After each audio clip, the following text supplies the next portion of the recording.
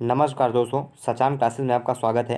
SSC की GK series का यह तीसरा वीडियो है। इससे पहले मैं दो वीडियो बना चुका हूँ। आप यदि एसएससी का कोई भी एग्ज़ाम दे रहे हों या कोई भी ऐसा एग्ज़ाम दे रहे हों जिसमें जीके के प्रश्न आते हों तो जाकर वो पिछले दो वीडियो ज़रूर देखें। तो चलिए हम आज जी सीरीज़ का तीसरा वीडियो शुरू करते हैं। पहला प्रश्न है, उदारवादियों और उग्रवादियों के एकीकरण शिल्पकार के रूप में किसे जाना जाता है? यानी कि कौन वो शख्स है जिसने वापस उदारवादियों और उग्रवादियों को एक साथ मिलाया। तो दो शख्स थे जिन्होंने उदारवादियों और उग्रवादियों को एक साथ लाने में सहायता की थी। पहले शख्स थे बाल गंगाधर तिलक। बाल गंगाधर तिलक और दूसरी शख्स थी एनी बेसेंट। क्योंकि यहाँ पर ऑप्शन में बाल गंगाधर तिलक नहीं है तो हम एनी बेसेंट को टिक करेंगे। एनी बेसेंट और बाल गंगाधर तिलक, ये दोनों ऐसे शख्स थे जिन्होंने मिलकर वापस उग्रवादी और उदारवादियों को एक साथ लाया था, क्योंकि 1907 में जो सूरत अधिवेशन कांग्रेस का हुआ था, वहाँ पर उदारवादी और उग्रवादी आपसी झगड़े की वजह से अलग अलग हो गए थे। एनी बेसेंट के बारे में हम कुछ जानकारी और ले लेते हैं। एनी बेसेंट की दो पत्रिकाएँ हैं, एक का नाम है कॉमन व्हील। देखिए, क्योंकि लिख नहीं पाऊँगा ठीक से, इसलिए आप ध्यान से सुनिएगा। एक का नाम है कॉमन व्हील कॉमन व्हील और दूसरी पत्रिका है New India New India. Gopal Krishna Gokhale के बारे में जानकारी यह है कि गोपाल कृष्ण गोखले महात्मा गांधी के राजनीतिक गुरु माने जाते थे और इन्होंने सर्वेंट्स ऑफ़ इंडिया सोसाइटी की स्थापना की थी। लाला लाजपत राय, इन्होंने अनहैप्पी इंडिया अनहैप्पी इंडिया नाम की एक पुस्तक लिखी थी। महात्मा गांधी ने कई पत्रिकाएँ लिखी थी, कई पुस्तकें लिखी थी। 1909 में 1909 में महात्मा गांधी ने एक बहुत ही प्रसिद्ध पुस्तक लिखी थी, जिसको हम बोलते हैं हिंद स्वराज। हिंद स्वराज। चलिए अब हम आगे बढ़ते हैं।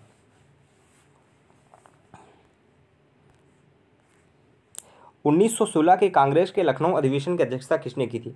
देखिए, ये 1916 का वही लखनऊ अधिवेशन है, जहाँ पर उदारवादी और उग्रवादी एक साथ वापस आकर मिल गए थे। ये वही लखनऊ अधिवेशन है कांग्रेस का। जहाँ पर दोनों एक साथ आ गए थे। इसमें सहायता की थी लाल बाल गंगाधर तिलक और एनी बेसेंट ने। मगर इसकी अध्यक्षता की थी अंबिका चरण मजुमदार ने। अंबिका चरण मजुदार मजुमदार ने 1916 के कांग्रेस के लखनऊ अधिवेशन की अध्यक्षता की थी। और लाला लाजपत राय, लाला लाजपत राय ने 1920 में 1920 में कोलकाता में जो कांग्रेस का विशेष अधिवेशन हुआ था, यानी उस समय शुरू होने वाला था असहयोग आंदोलन इससे पहले एक कोलकाता में कांग्रेस का एक विशेष अधिवेशन बुलाया गया था। वहाँ उसकी अध्यक्षता की थी लाला लाजपत राय ने। महात्मा गांधी ने कांग्रेस की अध्यक्षता केवल एक बार की, वो की 1924 में बेलगांव अधिवेशन में। बेलगांव अधिवेशन में महात्मा गांधी ने केवल एक बार कांग्रेस की अध्यक्षता की। चलिए अब हम आगे बढ़ते हैं। कांग्रेस कब नरम दल और गरम दल में टूट गई थी? देखिए, इसका इस प्रश्न का उत्तर मैं पहले ही दे चुका हूँ। 1907 1907 का वो सूरत अधिवेशन था, जब कांग्रेस जो है नरम दल और गरम दल में अलग अलग हो गई थी, क्योंकि उदार, एक तरफ़ थे उदारवादी और दूसरी तरफ़ थे उग्रवादी। उदारवादी एप्लीकेशन के माध्यम से, प्रार्थना पत्रों के माध्यम से अपनी बात को मनवाना चाहते थे, जबकि उग्रवादी हिंसक तरीके से अंग्रेज़ों से अपनी बातों को मनवाना चाहते थे। इस बात को लेकर मतभेद हो गया। मतभेद इस बात का था कि 1907 में जो सूरत अधिवेशन होना था, उसका अध्यक्ष उग्रवादी लाला लाजपत राय या बाल गंगाधर तिलक में से बनाना चाहते थे, जबकि उदारवादी गोपाल जो है राज बिहारी घोष को अपना अध्यक्ष बनाना चाहते थे, जिस बात को लेकर विवाद हो गया और उग्रवादी और उदारवादी दोनों अलग अलग हो गए। तो 1907 का वो सूरत अधिवेशन था, जब नरम दल और गरम दल अलग अलग हो गए थे। नरम दल को ही उदारवादी बोलते हैं और गरम दल को उग्रवादी बोलते हैं। कानपुर अधिवेशन 1925 जो हुआ था, इसकी अध्यक्षता की थी सरोजनी नायडू ने। पहली बार किसी भारतीय महिला ने कांग्रेस के किसी अधिवेशन की अध्यक्षता की थी 1925 में। कोलकाता अधिवेशन जो 1920 में हुआ था, उसकी अध्यक्षता मैंने बताया कि लाला लाजपत राय ने की थी। बनारस अधिवेशन 1905 में हुआ था, इसकी अध्यक्षता की थी गो गोपाल कृष्ण गोखले ने। चलिए अब आगे बढ़ते हैं। कर्क रेखा भारत के कितने राज्यों से होकर गुजरती है? देखिए, कर्क रेखा भारत को दो लगभग लगभग बराबर भागों में बांटती है। मैं आपको यहाँ पर भारत का मैप बना दे रहा हूँ। एक मोटा मोटा मैप। भारत कुछ इस प्रकार से है। थोड़ा सा गड़बड़ बन जाए तो। कुछ ऐसे यहाँ पे जम्मू कश्मीर, फिर यहाँ पंजाब होते हुए। ऐसे भारत है। तो कर्क रेखा भारत के ऐसे गुजरती है। कुछ इस प्रकार से। यहाँ पर बांग्लादेश है, ठीक है? यहाँ पर बांग्लादेश है। तो कर्क रेखा जब भारत से गुजरती है तो सबसे पहले आता है गुजरात, फिर आता है राजस्थान, फिर आता है मध्य प्रदेश, उसके नीचे जाता है छत्तीसगढ़, फिर यहाँ पे झारखंड, फिर यहाँ पे पश्चिम बंगाल, यहाँ पे त्रिपुरा और यहाँ पे मिज़ोरम। यानी कि कुल भारत के आठ राज्यों से होकर कर्क रेखा गुजरती है और यह लगभग भारत को दो बराबर भागों में काटती है, क्योंकि ये देखिए यहीं से गुजरती है आधा भारत इधर, आधा भारत इधर। चलिए आगे बढ़ते हैं। भारत में प्रत्येक वर्ष सशस्त्र सेना बल वयोवृद्ध दिवस कब मनाया जाता है? ये उन सैनिकों के लिए मनाया जाता है जो रिटायर हो गए हैं या जिन्होंने हमारे लिए युद्ध लड़ा है। क्योंकि ये देखिए, सशस्त्र सेना बल वयोवृद्ध दिवस, ये मनाया जाता है चौदह जनवरी को। प्रत्येक वर्ष चौदह जनवरी को सशस्त्र सेना बल वयोवृद्ध दिवस मनाया जाता है। पंद्रह जनवरी को होता है सेना दिवस। सेना दिवस, जिसे हम आर्मी डे बोलते हैं। ठीक है? बारह जनवरी को मनाया जाता है राष्ट्रीय युवा दिवस। इस दिन स्वामी विवेकानंद की जन्मदिन जयंती होती है और इस दिन को हम यूथ डे या युवा दिवस के रूप में मनाते हैं। नौ जनवरी को महा, नौ जनवरी उन्नीस सौ पंद्रह को, उन्नीस सौ पंद्रह को महात्मा गांधी दक्षिण अफ्रीका से भारत लौटे थे, जिस कारण नौ जनवरी को मनाया जाता है एनआरआई डे, यानी प्रवासी भारतीय दिवस। इस प्रश्न से आपको इतनी जानकारियाँ प्राप्त हो गई। चलिए अब आगे बढ़ते हैं। पद्मनाभ स्वामी मंदिर कहाँ पर स्थित है? देखिए, ये बहुत ही प्रसिद्ध मंदिर है और ये मंदिर स्थित है तिरुवनंतपुरम में। तिरुअनंतपुरम है केरल में। कहाँ पर? केरल में। ठीक है? अब थोड़ी जानकारियाँ इस प्रश्न हम और जुटा लेते हैं। मुंबई मुंबई।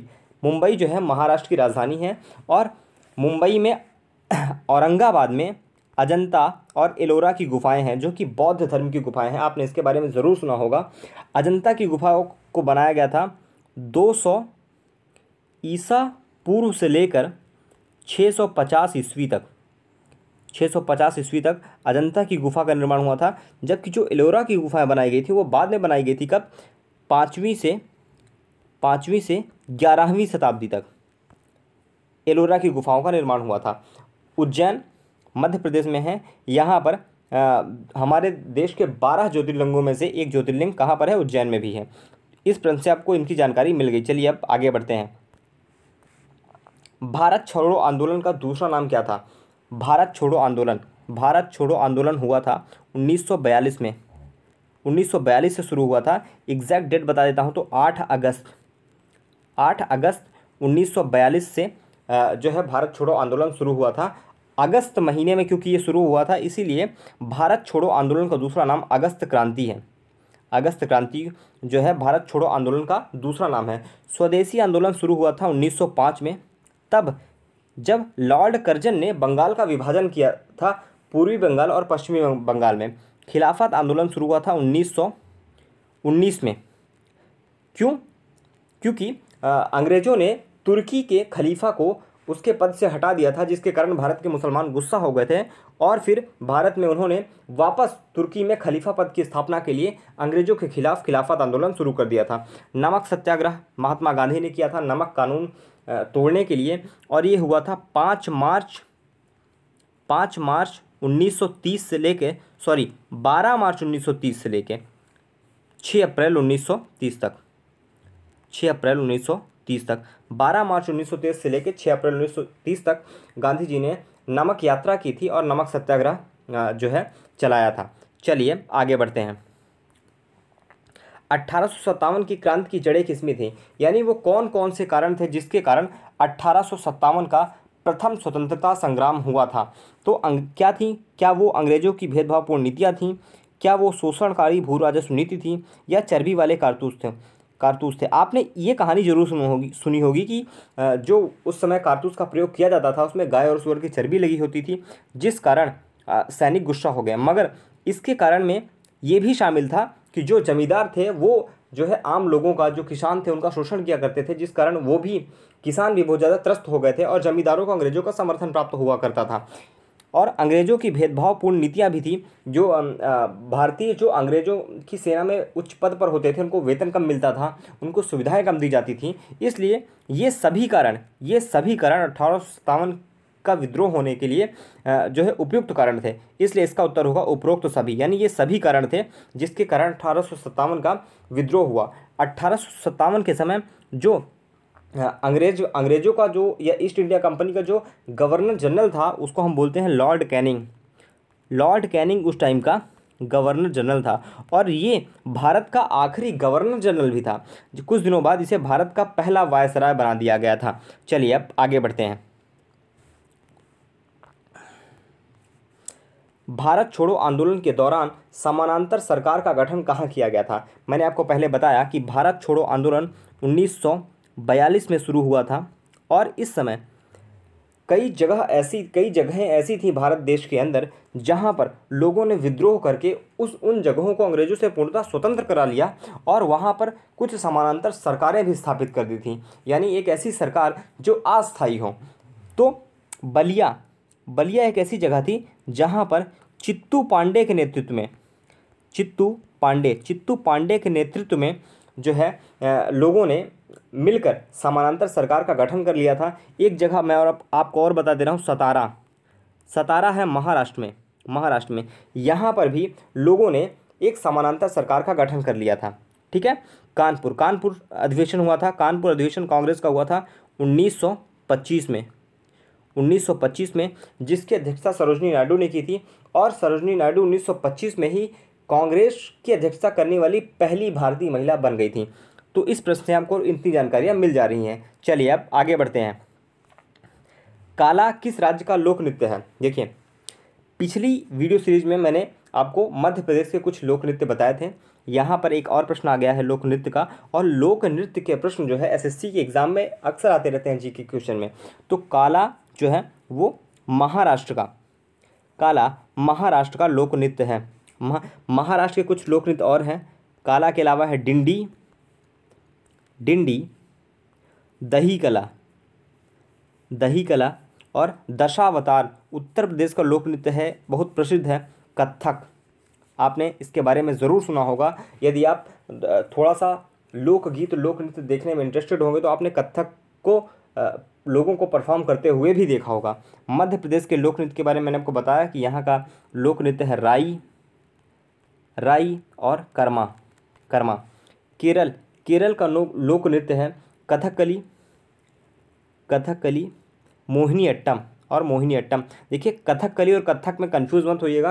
कथक उत्तर प्रदेश का लोक नृत्य है, जबकि कथकली केरल का लोक नृत्य है। चलिए अब आगे बढ़ते हैं। बंगाल का पहला गवर्नर जनरल कौन था? देखिए, बंगाल का पहला गवर्नर गवर्नर गवर्नर जनरल ये दोनों अलग अलग शख्स थे। बंगाल का पहला गवर्नर था। बंगाल का पहला गवर्नर था रॉबर्ट क्लाइव। सत्रह सौ सत्तावन में जब प्लासी का युद्ध हुआ था, तब रॉबर्ट क्लाइव बंगाल का पहला गवर्नर था। उसके बाद Warren Hastings Warren Hastings Bengal का पहला गवर्नर जनरल बना। उसके बाद भारत का पहला गवर्नर जनरल, भारत का पहला पहला गवर्नर जनरल कौन था? William Bentinck. William Bentinck Bharat का पहला गवर्नर जनरल था। Lord Canning Lord Canning Bharat का आखिरी गवर्नर जनरल था और भारत का पहला वायस राय था। तो इसमें कन्फ्यूज़ मत होइएगा। यदि आपको कन्फ्यूज़न हो तो एक बार वापस सुन लीजिएगा। देखिए, मैं एक बार फिर से आपको बता दे रहा हूँ। रॉबर्ट क्लाइव बंगाल का पहला गवर्नर था। उसके बाद वॉरेन हेस्टिंग्स बंगाल का पहला गवर्नर जनरल था। विलियम बेंटिक भारत का पहला गवर्नर जनरल था। लॉर्ड कैनिंग भारत का आखिरी गवर्नर जनरल था और लॉर्ड कैनिंग ही भारत का पहला वायसराय था। चलिए अब आगे बढ़ते हैं। डॉक्टर राजेंद्र प्रसाद के समाधि स्थल का क्या नाम है? देखिए, हमारे देश के जो भी प्रधानमंत्री होते हैं या जो भी राष्ट्रपति होते हैं, जो बहुत महत्वपूर्ण होते हैं, जहाँ पर उनकी समाधि बनाई जाती है, उस स्थान का एक नाम जो है चुना जाता है। वो तो जैसे कि डॉक्टर राजेंद्र प्रसाद हो गए, जवाहरलाल नेहरू हो गए, या इंदिरा गांधी हो गई राजीव गांधी हो गई, इनकी जहाँ पर समाधियाँ हैं, उसका एक नाम दिया गया है। तो जहाँ पर डॉक्टर राजेंद्र प्रसाद की समाधि है, उसको हम बोलते हैं महाप्रयाण घाट। क्या? महाप्रयाण घाट। ठीक है? शांतिवन। शांतिवन नेहरू जी के समाधि स्थल को बोलते हैं। शक्ति स्थल इंदिरा जी के समाधि स्थल को बोलते हैं। और वीरभूमि राजीव गांधी जी के समाधि स्थल को बोला जाता है। चलिए अब आगे बढ़ते हैं। पाकिस्तान से भारत के कितने राज्यों की सीमा स्पर्श करती है? चलिए, एक बार फिर से मुझे भारत का मैप बनाना पड़ेगा ताकि आपको अच्छे से समझ में आ जाए कि पाकिस्तान से हमारे देश के कितने राज्यों की सीमा जो है, लगती है। ये है भारत का मैप। एक मोटा मोटा मैप बनाना आपको आना चाहिए। ये ऐसे जम्मू कश्मीर, ऐसे ये ये। उल्टा पुल्टा है। देखिए, यहाँ पर है राजस्थान, गुजरात, फिर राजस्थान, फिर इधर है पंजाब, इधर है, अब पहले ये पूरा, पहले ये पूरा जम्मू कश्मीर था, मगर अब इसको आधा बांट के, आधा जम्मू कश्मीर हो गया है और थोड़ा इधर का भाग पूरा लद्दाख हो गया है। तो राज्य कौन कौन से हैं? राज्य हैं गुजरात, राजस्थान और पंजाब। तो अब केवल तीन राज्य ऐसे हैं जिनकी सीमाएँ पाकिस्तान के साथ लगती थीं। जब जम्मू कश्मीर एक राज्य था, तब जम्मू कश्मीर की सीमा क्योंकि पाकिस्तान से लगती है तो हम चार राज्य गिन सकते थे। मगर क्योंकि अब जम्मू कश्मीर और लद्दाख दो अलग अलग केंद्र शासित प्रदेश हो गए हैं, इसलिए हम राज्य केवल तीन राज्य से हैं। गुजरात, राजस्थान और पंजाब, जिनकी सीमा जो है पाकिस्तान के साथ लगती है। तो इसका उत्तर होगा तीन। तीन राज्य हैं जिनकी सीमा पाकिस्तान के साथ लगती है और दो केंद्र शासित प्रदेश हैं जिनकी सीमा पाकिस्तान के साथ लगती है। एक केंद्र शासित प्रदेश है जम्मू कश्मीर जम्मू कश्मीर और दूसरा है लद्दाख। तो इस बात को लेकर कंफ्यूज मत होइएगा। अब जो है स्टेटस बदल चुका है, इसलिए अब ये जीके के प्रश्न का उत्तर भी बदल चुका है और मैंने आप, उसको आपको एक्सप्लेन कर दिया। चलिए अब आगे बढ़ते हैं। सबसे छोटा वेद कौन सा है? देखिए, हमारे सनातन धर्म में जो वेद होते हैं, उनकी वो चार वेद हैं। एक है ऋग्वेद, सामवेद, यजुर्वेद और अथर्ववेद। इनमें से जो सबसे छोटा वेद है, वो है सामवेद। सामवेद सबसे छोटा वेद है। ऋग्वेद को पढ़ने वालों को, जो ऋग्वेद पढ़ते हैं, उनको कहा जाता है होत्र। ऋग्वेद पढ़ने वालों को होत्र कहा जाता है, जबकि सामवेद पढ़ने वालों को अध्वर्यु कहा जाता है। अध्वर्यु। ठीक है? यजुर्वेद पढ़ने वालों को उद्गवा। उगदवा बोलते हैं। उगदवा। उग उगदवा बोलते हैं। ठीक है? और अथर्ववेद में जादू टोने के बारे में उल्लेख किया गया है। तो इस प्रश्न से आपको वेदों के बारे में इतनी जानकारियाँ प्राप्त हो गई। चलिए अब आगे बढ़ते हैं। भारत का राष्ट्रीय खेल कौन सा है? बहुत लोगों को लग रहा होगा ये प्रश्न बहुत आसान है, मगर ऐसा नहीं है। भारत का राष्ट्रीय खेल, बहुत लोग गलती से टिक करेंगे हॉकी, मगर ऐसा नहीं है। हॉकी भारत का राष्ट्रीय खेल नहीं है। हम बचपन से यही पढ़ते आए हैं कि हॉकी भारत का राष्ट्रीय खेल है, मगर जो भारत सरकार के डाटा में भारत का कोई भी राष्ट्रीय खेल नहीं है, यानी भारत का कोई भी राष्ट्रीय खेल नहीं है, हॉकी को भारत का राष्ट्रीय खेल इसलिए माना गया क्योंकि जब हमारा देश आज़ाद हुआ था, उस समय हमारा, भारत में जो है, हॉकी काफ़ी ज़्यादा लोकप्रिय था और बहुत ज़्यादा लोग हॉकी को पसंद करते थे। धीरे धीरे धीरे धीरे जनरल नॉलेज की किताबों में ही हॉकी को भारत का राष्ट्रीय खेल बताया जाने लगा, परंतु ऐसा नहीं है। भारत का, आप इस बात को बहुत गौर से ध्यान रखिए कि भारत का कोई भी राष्ट्रीय खेल नहीं है। हॉकी भी भारत का राष्ट्रीय खेल नहीं है। तो इस प्रश्न से आपको ये जानकारी मिल गई क्योंकि इस प्रश्न को बहुत सारे लोग गलत करने वाले थे। चलिए अब आगे बढ़ते हैं। तो इस तरह से ये एसएससी जी के सीरीज़ का तीसरा वीडियो भी आ, हमने कंप्लीट कर दिया है और आप आप तीनों वीडियो को देखिए ताकि आप जो है एसएससी के एग्ज़ाम में अच्छा से अच्छा स्कोर कर पाएँ। अब हम आगे मिलेंगे चौथे वीडियो के साथ। तब तक के लिए धन्यवाद।